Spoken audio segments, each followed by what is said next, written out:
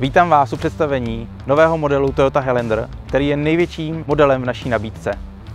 Jeho celková délka je 4950 mm, výška 1730 mm a šířka 1930. Rozvor tohoto modelu je úctyhodný 2850 mm.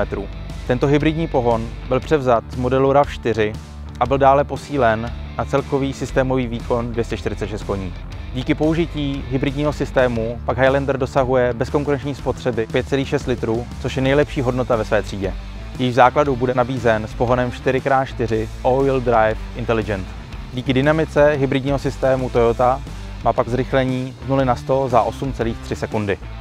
Díky uložení baterií má vozidlo nejnižší těžiště ve své třídě a i tento obr je pak při jízdě pocitově menší a mršnější. Dále se inženýři zaměřili na odlučnění vozu.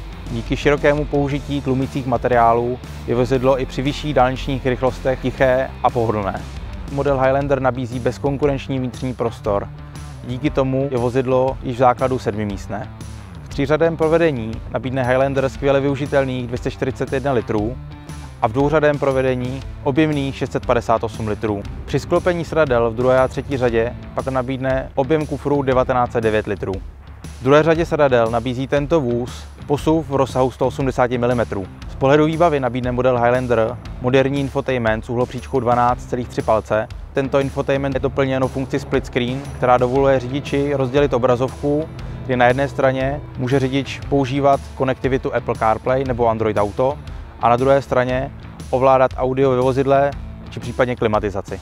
Další vychytávkou je pak elektronické vnitřní zpětné zrcátko, které dovoluje řidiči výhled z vozidla i při plném naložení. Pro řidiče a spolujezdce dále nabízí ventilovaná a vyhřívaná přední sedadla ve vyšších výbavách s elektrickým nastavením a pamětí pro řidiče. Model Highlander v základní výbavě nabídne třízónovou automatickou klimatizaci s detekcí počtu cestujících.